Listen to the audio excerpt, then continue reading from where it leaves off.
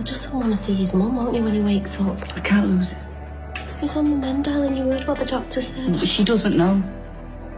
She, she doesn't know what. It's my fault, Anne. What? What does the doctor not know?